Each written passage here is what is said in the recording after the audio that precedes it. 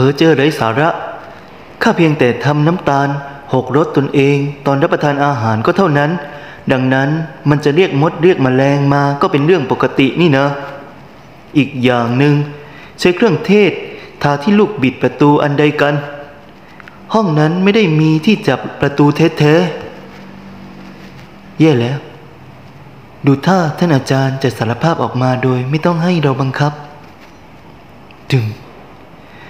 ทว่ามีอย่างหนึ่งที่ท่านอาจารย์กล่าวไม่ผิด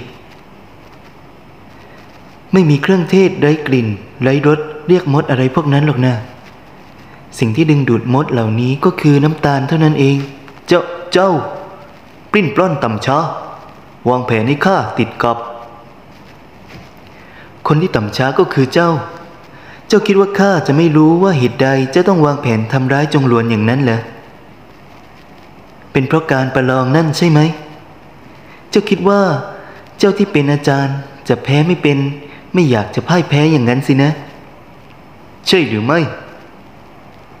เช่นนั้น เจ้ารู้หรือไม่ว่าก่อนวันสอบนั้น จงหลวนได้จงใจไหว้วานให้เผยยานมาแจ้งอะไรกับเรา นางกล่าวว่า จริง ๆ แล้วการประลองกับท่านอาจารย์นั้นไม่ใช่ความตั้งใจของข้าหรอก หากข้าใช้ ความรู้ใหม่ๆ มาเอาชนะเขาเช่นนั้นก็นับว่าเป็นชัยชนะที่ไม่สมศักดิ์ศรี ดังนั้นหากข้าเอาชนะท่านอาจารย์ได้จริง ๆ แล้วแล้วก็ หวังว่าฝ่าบาทจะตัดสินใจว่าพวกเราเสมอกัน เอออะไรเนาะนั่นเป็นความเคารพที่ข้ามีต่อท่านที่เป็นอาจารย์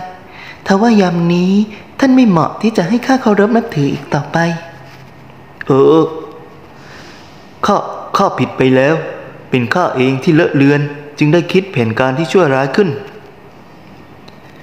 ลบชื่อนักโทษผู้นี้ออกจากบัญชีราชวิทยาลัยนำตัวเข้าไป คิดไม่ถึงว่าแค่การประลองง่ายๆ จะดำเนินมาจนถึงจุดนี้ได้ เขาทำตัวเองทั้งนั้นไม่จำเป็นต้องสงสารเขาหรอกนะ อืมแต่จะว่าไป ท่านก็เตรียมการมาดีเหลือเกินนะ หรือว่าตั้งแต่วันแรกที่ข้าถูกกักขังเอาไว้ ตึก ท่านก็ใจร้อนดั่งไฟสมอก คิดหาวิธีการว่าจะช่วยข้าออกไปอย่างไรดี เอ๊ะ